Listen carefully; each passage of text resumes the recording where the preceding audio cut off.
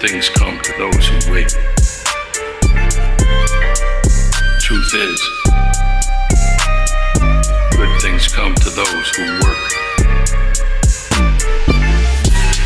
Work later. Work harder.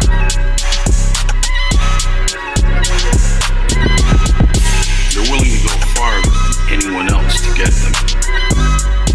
If you're waiting for good things to come